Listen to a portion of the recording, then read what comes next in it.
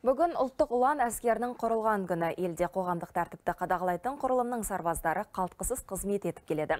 Әр жауынгер темірдей тәртіпке бой үйреткен әскери бөлімдерде оларға қолайлы жағдай жасалып жатыр. Түрлі сынақтарға ашынықтырумен қатар дарындылардың шығармашылық қабілетін дамытуға да мүмкіндік берілген. Тілшіміз сарбаздардың күнделікті жағдайын көзбен көріп қайтты.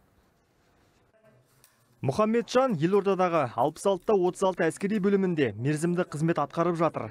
Маңғыстаулық бозбала бұған дейін мобилограф болып түрлі жарнамалар түсірген екен. Ал қазір жауынгерлік өмірдің қиында қызықты сәттерін видеоға түсіріп, әрленген күйінде әлеуметтік желіге жүктеп жүр. Оған құрылым басшылығы тікелей қолдау білдірген. барлығы өте жақсы мен ойлағаннан да өте керемет болып жатыр Ә, әскер дегенде барлығының ойында басқа қорқынышты нәрсе келеді бірақ барлығы менің ойла- ойлағанымнан мықты болып жатыр әскери бөлімнің осы барлық қандай деңгейде екенін осы видеоролик арқылы жеткізіп жатырмыз. Арнайы операциялар ә, оқу жаттығулар соларды түсіргім келеді. Қаз қатар тізілген бұл сарбаздардың әскерге келгеніне небәрі 20 шақты күн болған.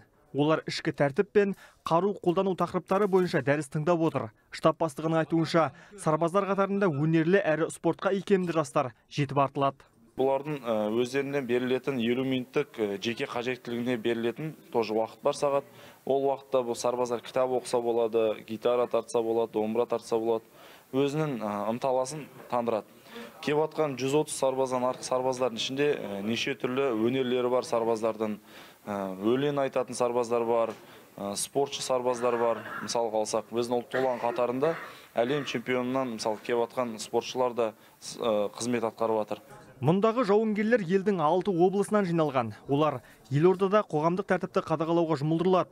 Жүктелген міндеттің жауапкершілігін әрқайсысы жақсы білет. Сондықтан ел үшін аянбай еңбек етуге әзір.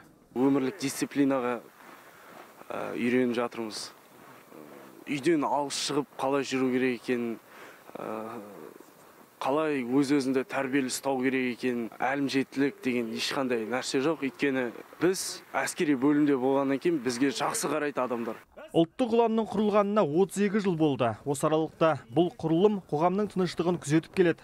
Жауынгерлер ел алдындағы борышын адал атқарды.